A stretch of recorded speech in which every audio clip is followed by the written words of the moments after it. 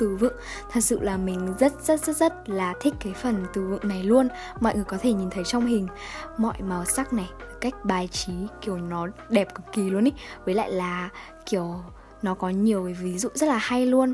Đặc biệt là mình ưng ở cái chỗ ấy, là khi mà mình thích nốt mình không cần phải suy nghĩ nhiều về cái vấn đề màu sắc. Mọi người biết rồi ở trong sách đấy những cái thể loại từ loại từ thì nó đều được phân ra theo từng màu sắc riêng. Ví dụ màu vàng là danh từ, màu hồng là tính từ, màu tím là trạng từ và màu xanh là cây là động từ. Nó thật sự có những cái kiểu phân loại riêng, cho là khi mà mình take note, mình không cần phải suy nghĩ quá là nhiều vì à cái từ này nó dùng cho màu gì đây, nên chọn màu gì cho cái từ kia đây.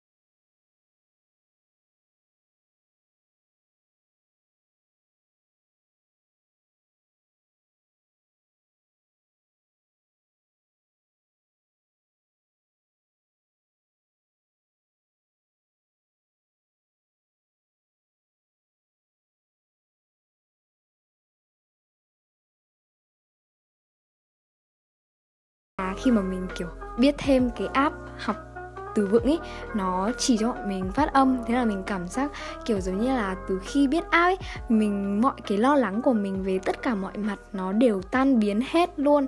Và đây mình sẽ cho mọi người xem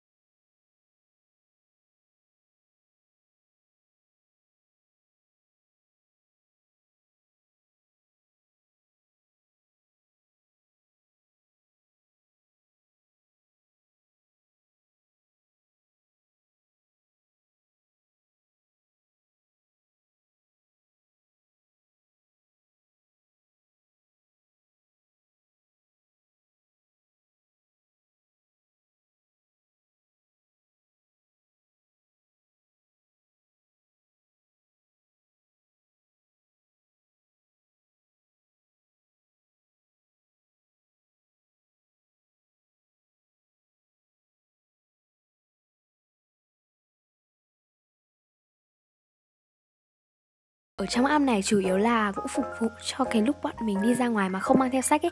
Ví dụ như là phần chuyện này này, nó cũng giống như là chuyện trên ở trong sách nhưng mà nó ngắn hơn và nó cũng khá là hay khi mà bọn mình đi ra ngoài, kiểu, ngồi rảnh rồi mở cái điện thoại lên là bắt đầu học tiếng anh.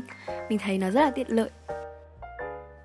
Đối với cái cuốn sách này thì Kết đã nghe có khá là nhiều bạn nói rằng là những cái ví dụ ở phần âm thanh tương tự ấy, nó rất là kỳ cục và vô lý. Nhưng mà mọi người biết không mình đã học rồi và mình đã thấy được là những cái gì mà nó càng kỳ cục càng vô lý càng buồn cười thì nó càng dễ nhớ hơn. Ví dụ như cái từ một bên này là từ enroll thì mọi người có thể thấy sinh viên mới nhập học phải enroll lên mặt. Trời ơi sinh viên mới nhập học mà còn phải enroll lên mặt nữa. Nó nghe rất là buồn cười và vô lý luôn ý. Thế là mình nhớ rất là lâu đúng rồi, cái cuốn sổ mà mình đang sử dụng đây đó là cuốn sổ của Ca Long. Mình thấy sổ lò xo này để take note nó rất là phù hợp đấy mọi người ạ.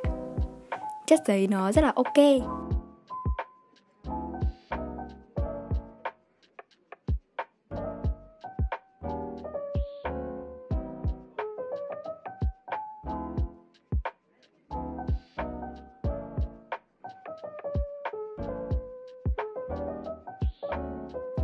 Sau khi check nốt xong thì mình sẽ làm một số cái ví dụ ở phần dưới.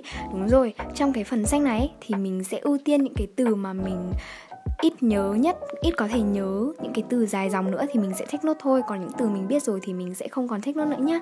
Và sau khi mà mình học xong thì mình sẽ vào cái app để mà bắt đầu luyện đọc từ ấy.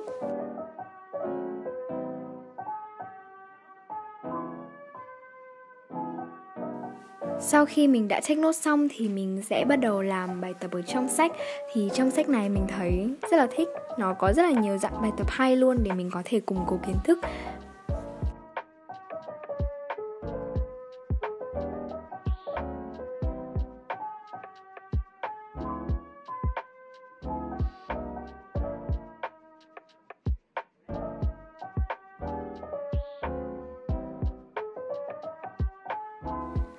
Và cái phần bài tập mà khiến mình rất là ưng ý đó là cái phần bài tập mà nó củng cố từ vựng Có một dàn trải dài từ trên xuống dưới 24 từ vựng và nó có thể đặt các cái từ vựng vừa Anh hoặc là Việt để cho chúng mình dịch nghĩa và phần bên kia là cái phần chúng ta có thể đặt câu hoặc là viết chuyện chêm.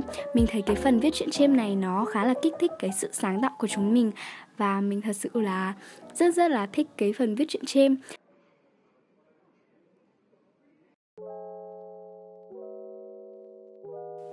Học xong thì mình sẽ bắt đầu đánh giá về cái phần phát âm ở trong cái app. Đánh giá này thì đa số là đều cái việc trải nghiệm ở trong app hết. Thì mình sẽ đánh giá phần phát âm này Phần luyện tập, luyện từ, viết từ Ví dụ như là tiếng Anh sang tiếng Việt này Rồi tiếng Việt sang tiếng Anh và nghe âm thanh để mà viết ra từ ngữ Đều có rất là nhiều dạng bài tập hay Và mình sẽ ghi lại xem là mình đã hoàn thành bài tập gì Và đánh giá xem là mình sẽ được bao nhiêu sao cho bài học đó. Mình thấy cái phần này nó rất là hay Mình sẽ kiểu cố gắng tiến bộ theo thời gian ấy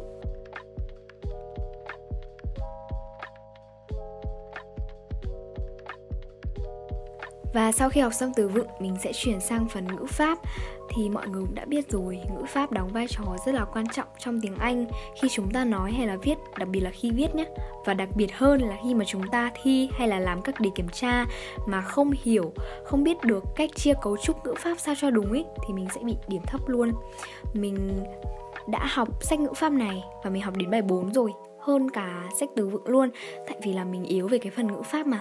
Mọi người không biết một cái câu chuyện này. Đó là hồi xưa mình gặp những cái câu trong đề kiểm tra tiếng anh mà nó bắt mình, kiểu, cho một cái từ gốc ở trong ngoặc ấy, xong bắt mình, kiểu, nhìn vào cái chủ ngữ và chia ra, ví dụ là she like, thì đáng lẽ bọn mình phải thêm s vào, đúng không? Mà mình không thêm. Xong rồi mấy câu kia cũng vậy. Xong rồi mình bị điểm thấp luôn. Từ đó là mình rất rất là ghét việc học ngữ pháp.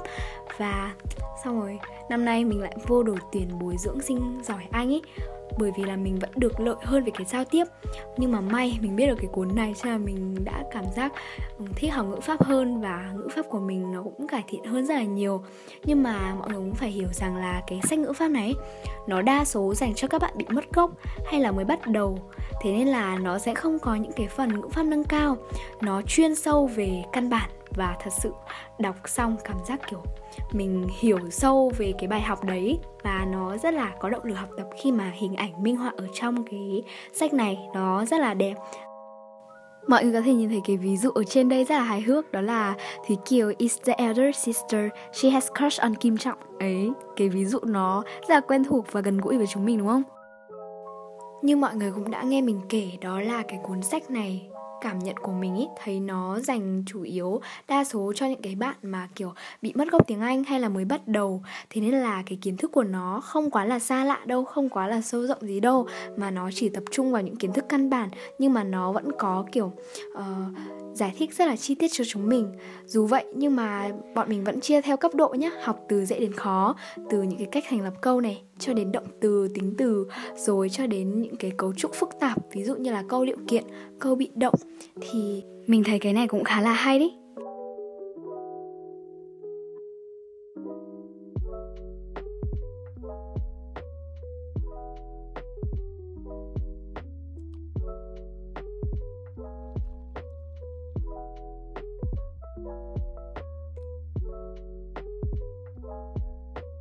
À đúng rồi, mình sẽ cho mọi người xem luôn cái phần ngữ pháp ở trong cái app Hack Now Pro đó nhé. Đối với phần ngữ pháp ấy thì nó sẽ có các cái bài tập luyện tập và ngoài ra còn có phần thi thử trung học cơ sở và thi thử trung học phổ thông nữa. Cho nên mình thấy cái nó khá là hay mọi người. Và ngoài ra nó còn có những cái bài tập nâng cao này. Ừ, mình rất là thích phân tích rất là rõ ràng.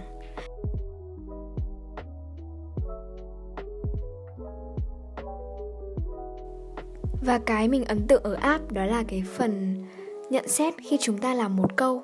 Đây, khi mà mình làm xong một câu, nó sẽ nói là đúng hay là chưa này, rồi nó sẽ giải thích rất là chi tiết cho chúng ta. Nhưng mà có cái hay hay như là mọi người không biết là cái app nó có lừa mình hay không mà, kiểu, mình làm câu đầu tiên, khi bắt đầu nhấn vào app nhá, mình làm câu đầu tiên là khi mà đúng ấy, nó nổi lên cái nhạc tinh tinh. Còn xong câu đấy, mình làm những câu tiếp theo, nó không có nhạc nữa. Mà đến cái lúc mình làm sai, xong rồi nó có thêm cái nhạc xong rồi thì mình làm xong câu đó kiểu sai rồi mình làm câu tiếp theo tự nhiên nó lại có nhạc. Xong rồi kiểu tóm lại là khi bọn mình làm sai nó có nhạc. Xong rồi sau cái lần làm sai đấy làm thêm một lần nữa nó lại có nhạc. Còn lại thì đều không có nhạc. Tự nhiên nói xong nghe lại cảm giác là mình không biết mình đã nói gì luôn.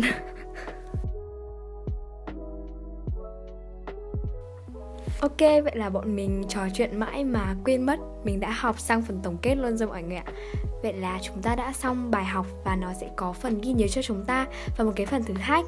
Thử thách thì có rất là nhiều thử thách hay. Và thử thách lần này của mình đó là viết các tên bài hát mà có chứa đại từ. Mình chỉ nhớ cái bài I'm yours thôi Còn lại thì mình kiểu lúc đấy mình không còn nhớ dài từ nào hết. Cho là ok thì uh, lúc lát sau mình uh, suy nghĩ nhá. Còn bây giờ thì mình đã hoàn thành xong phần ghi chép về đại từ rồi và bây giờ mình sẽ dán thêm một số cái sticker để cho cái bài của mình nó thêm đẹp đẽ, đáng yêu hơn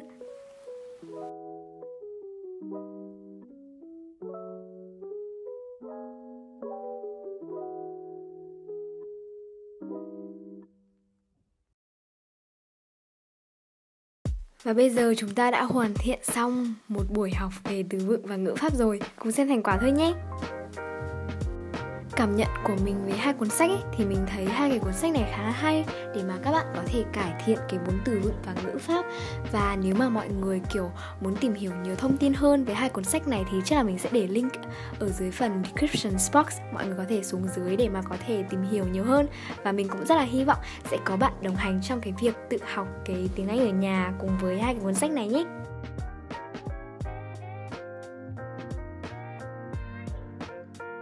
Và mình nghĩ rằng là bạn sẽ có nhiều phương pháp học tập khác nhau. Miễn là sao các bạn hứng thú vào học tập chăm chỉ là được. Nhưng mà mình cũng rất là hy vọng video ngày hôm nay sẽ giúp ích một phần cho mọi người. Còn bây giờ thì tạm biệt.